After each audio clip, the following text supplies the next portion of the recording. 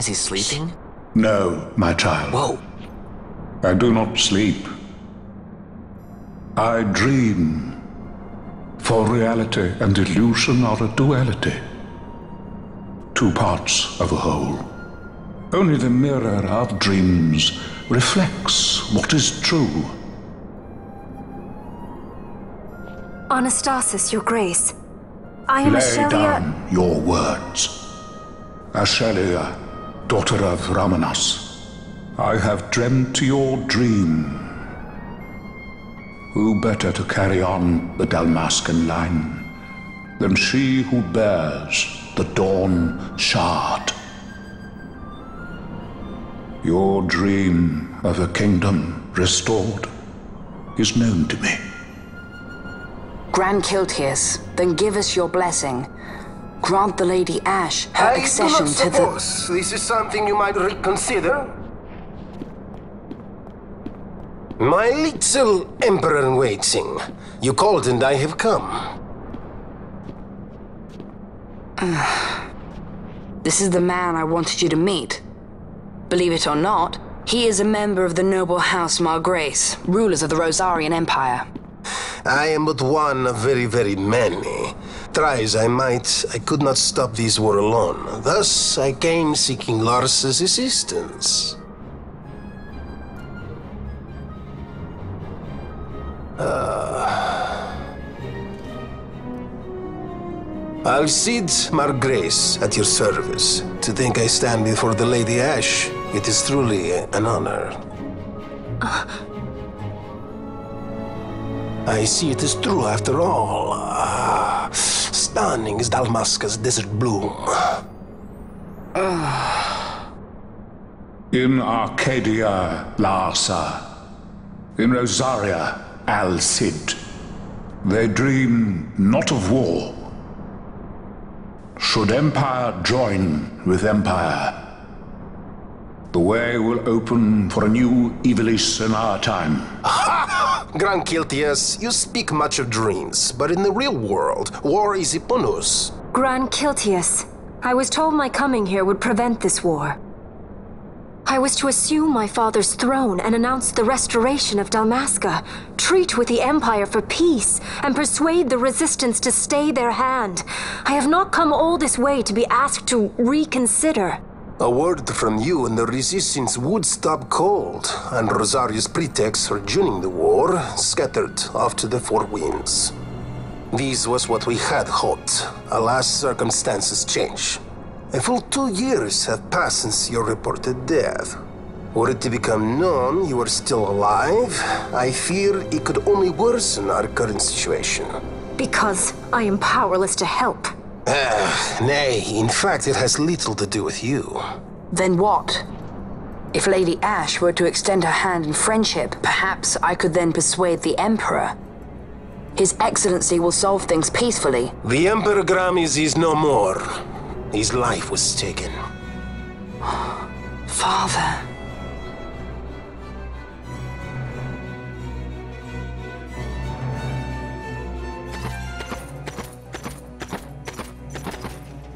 Possible cause could we have to lay hand on our Emperor? A deception and an outrage. The Senate will not stand for this. A viper amongst our With senators? Chairman Gregoroth as its head. With what dignity remained him, he confessed to the poisoning and passed his own sentence. A viper with many tails. Much of the Senate is culpable. We had no choice but to strip the Senate of authority and assign powers of autocracy to myself until such time as order. Spare me your lies! I see the serpent coiled here before me! Drace, you speak too freely. Zargabaath! Do not tell me you join in his mama's farce! With Rozarria poised to invade at any moment, our leader must have a free hand.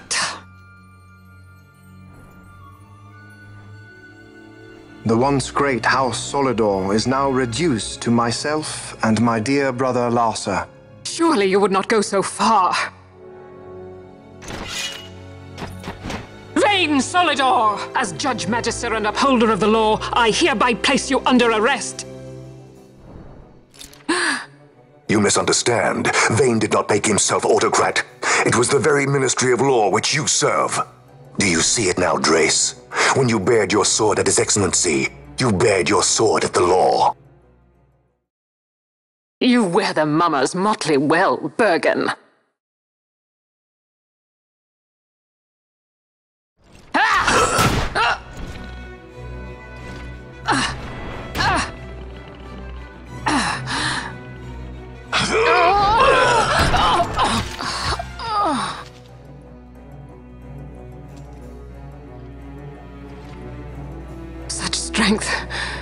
Inhuman.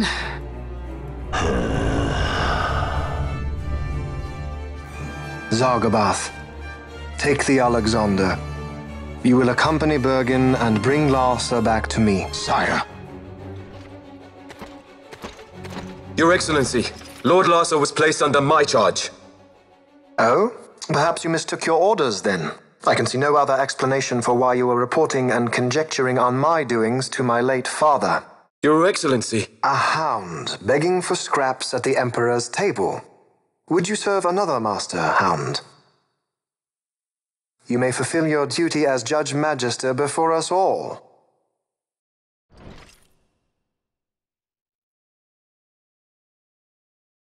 She has been tried and found guilty.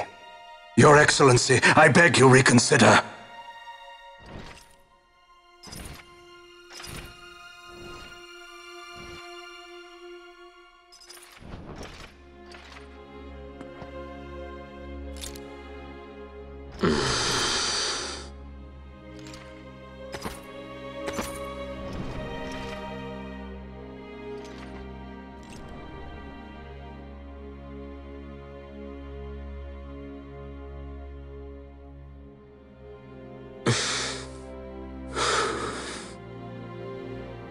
Do it. I care not.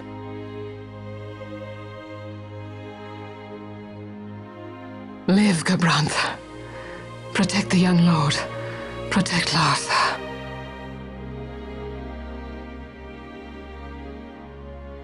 Forgive me. Pray be quick.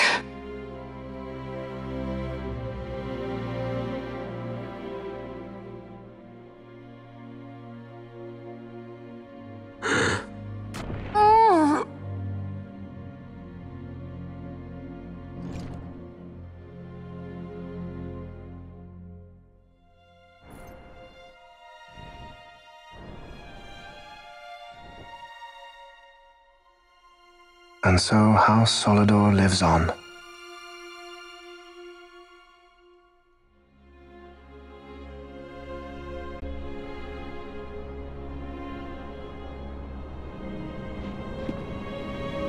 Let us suppose you approach the Empire with a peaceful resolution. The late Emperor Gramis would have lent you his ear, that much is certain, but we are dealing with Vayne Solidor. Should the princess return, he would claim her an impostor, or to tempt the resistance into battle. Vayne wants this war, that much is certain. As our ill luck would have it, the man is a military genius. The dreams have told me thus. To reveal yourself would imperil us all. I see war, and Vayne's name writ bold on history's page. Archadia's banners fly high. They are making ready for the coming war. According to our latest reports, the Western Armada prepares for war, under Vayne's command, no less. The newly formed 12th Fleet has already been deployed. Oh yes, the Imperial First Fleet stands ready. They'll be underway as soon as the Odin's refit is complete. And there is more. The second Carwin Expeditionary Force is being called in to replace the missing eighth, so there will be no gaps. The largest force ever seen. And then, the Nethicite is the coup de grace. Gran Kiltias, your grace. I spoke to you of my succession. Let us put that aside. Should I become Queen of Dalmasca now, powerless as I am, I can protect nothing. With a greater power at my disposal, perhaps then. It is the Nethicite of which you dream? I require something far greater. To wield power against power. Truly, the words of a Hume child. I am descended from the Dynast King himself. Indeed. Then you have but one choice. Seek you the other power Raithwall left. Does such a thing exist? Journey across the Paramina Rift to the still shrine of Miriam. There rests the gift he entrusted to the Gran Kiltias of his time. Seek it out. The Sword of Kings can cut through Nethicite. Why he would entrust the power to destroy Nethicite, the instrument of his greatness, to another and not to his own progeny, I cannot say. Awaken Ashelia B'nargin and take up your sword, or your dream will remain but a dream.